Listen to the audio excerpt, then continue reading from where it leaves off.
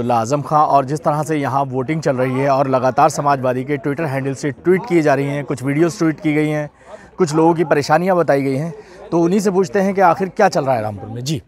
जी बताइए। रामपुर में जिस तरह से आपके समाजवादी के ट्विटर हैंडल से ट्वीट किया जा रहा है और कुछ वीडियोस भी दी गई हैं जिसमें लोगों के हाथ छिले हुए हैं बुज़ुर्ग महिला हैं और टूटा हुआ है बताया गया है। निकला हुआ है पुलिस लाठीचार्ज कर रही है पर्चियाँ फाड़ कर फेंक रही है लोगों को वापस कर रही है। कप्तान साहब का कहना है कि वो जाँच कर रहे हैं और ऐसा कुछ अभी चलिए जाँच हो सर्टिफिकेट मिलते मिलते जाँच रिपोर्ट भी आ जाएगी।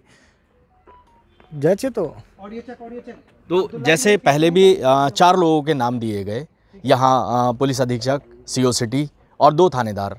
कहा कि इनको यहाँ से दूसरे शहर में स्थानांतरित किया जाए तभी चुनाव यहाँ का हो सकता है। इस मंडल में छठा चुनाव करा रहे हैं जो कि इलीगल डेपुटेशन पर हैं पिछले चार सालों तीन सालों से। क्या खूबी है ऐसी?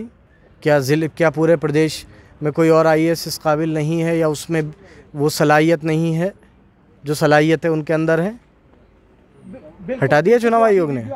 तो उनके बारे में तो कहा जाता है कि उन्होंने तो पूरा किला ध्वस्त कर दिया है आदम खां का। सीधे लाइव जुड़ेंगे उनसे ही पूछेंगे अरमान है। क्या वजह रही? अरमान ही रह ये झड़प हुई और सिर्फ़ वक्त का खेल है।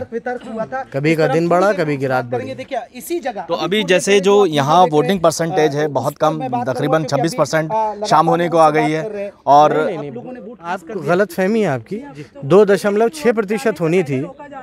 छब्बीस हो गई बहुत बड़ी बात। है तो फिर भी लगता है। बदनसीब लोग अपना वोट डाल पा रहे हैं। मैंने वोट डाल दिया कम बड़ी बात है। धक्के दिए इसके हाथ से पर्ची छीन कल के बारे में अगर हम बात करें तो कल जैसे वहाँ पर धरना प्रदर्शन हुआ आवास पर और यहाँ जो प्रत्याशी हैं आज़म आसिम राजा साहब उन्हें उठा करके ले जाया गया और बाद में छोड़ दिया गया। उनका आरोप था कि लोगों को उठाया जा रहा है लगातार और छोड़ा नहीं जा रहा है। तभी उन्होंने जा करके वहाँ प्रदर्शन किया उनके आवास पर। तो कौन सुन रहा है? तो मियाँ वो दौर गए। जब खाली लिफाफे को भी पीआईएल मान लिया जाता था अब वो दौर अब्दुल्ला जी तो अब क्या लगता है आपको? क्या कहना चाहेंगे? अभी अभी क्या विवाद हुआ? प्लीज़ ठीक है। एक मिनट जैसे कि आपने देखा कि अब्दुल्ला आज़म लगातार कहते रहे हैं कि यहाँ हम लोग कह रहे हैं इस बात को और देखने को मिल रहा है। अब देखना ये होगा कि कितना परसेंट वोटिंग होता है और किसके पाले में जो है समाजवादी की सीट जाती है। जबकि यहाँ आज़म खां का वर्चस्व रहा है।